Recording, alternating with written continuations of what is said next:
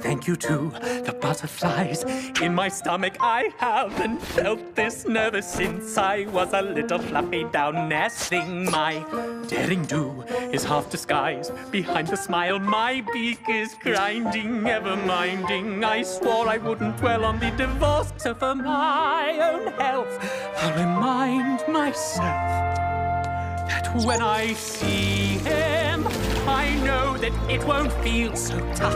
I'll believe him and not the voice that says I'm not enough. No need for an arrangement, it can just be him and me. I'll set us free. How perfect it could be when I see him tonight.